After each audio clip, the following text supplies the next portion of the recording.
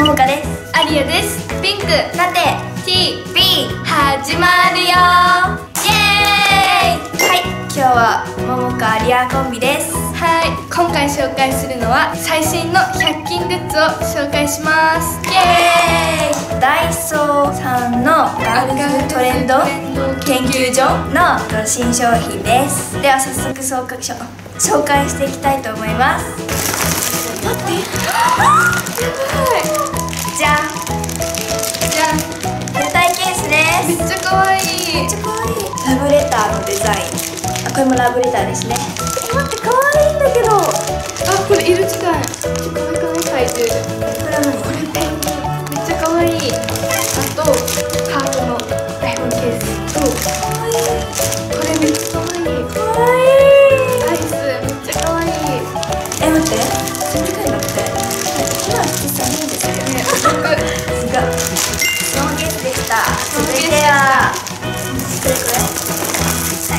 防水スマホケースってこれから使ええますね。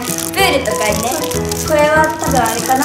ケースの外からもできる感じねでこれ200円なんですよめっちゃお得すごいめっちゃ便お風呂利とかでもさこれ持ってったらさ音楽聴きながらみたいな。しっかりしてる。では続いて。これです。ライトニング充電ケーブルです。めっちゃ可愛い。これはピンクです。これ白と黄色のペンギンです。全部めっちゃ可愛い。え待ってさっきさこのペンギンがさいたよね。このペンギンのデザインがあれなのかな？えかわい。いでもこちらもめっちゃ可愛い商品です。全然みたいになってるよ。じゃあ次はこれ。絆創膏です。ソープめっちゃ可愛い。女子力アップですね。やっぱりガールズトガールズトレンド研究部です。研究所ですからいろんな色があってめっちゃ可愛いです。なんかこれ手書きのクマちゃんみたいになってますね。めっちゃ可愛い。次はじゃあ最後かな？大きいやつだな。一せーの。でじゃあスリッパです。スリッパっていうのこれ？